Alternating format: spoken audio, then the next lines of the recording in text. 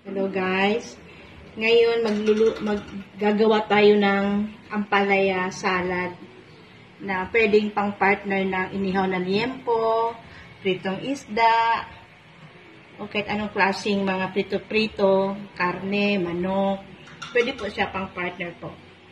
Ngayon, tuloy natin to hiwa-hiwain natin yung ampalaya maliliit po.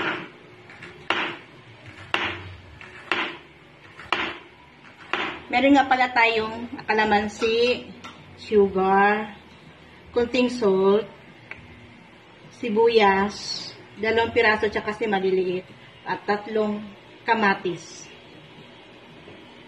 Tuloy-tuloy po natin sa hiwain maliliit po ang ampalaya po natin. Hiwa-hiwain natin kamatis natin na maliliit. Alisin po yung buto Kasi hindi maganda yung kain natin pati buto.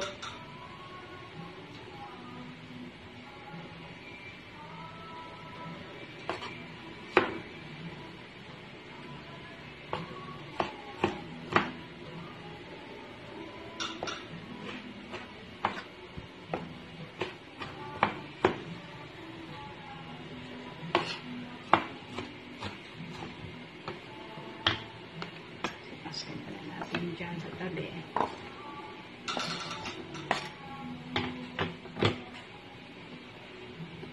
Ito naman yung sibuyas. Ay na siya. Maliliit lang.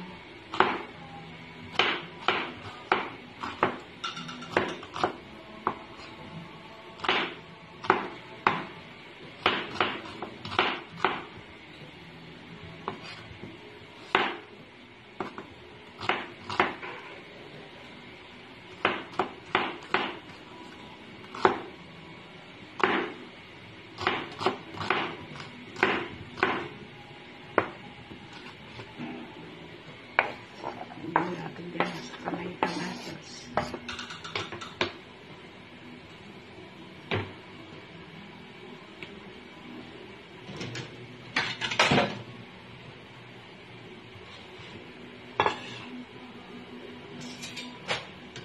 Lagyan natin po to sa isang bowl para i-mix muna natin yung lahat para lagyan natin sa ampalaya.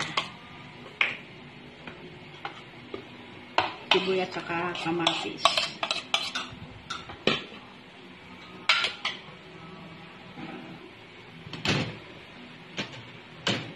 Drain natin yung kalamansi kasi kunin natin yung buto.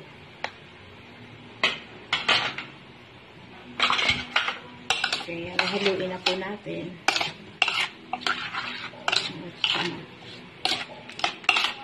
Ito na yung asin at saka yung sugar.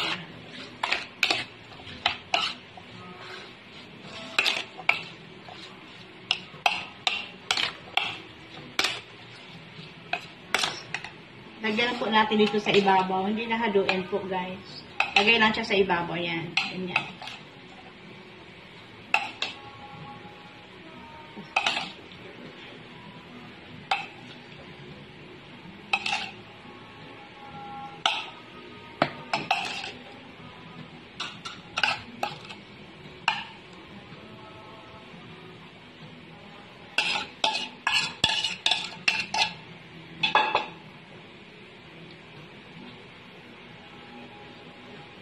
Yan na po ang ating finished product. Salamat sa pag-subscribe.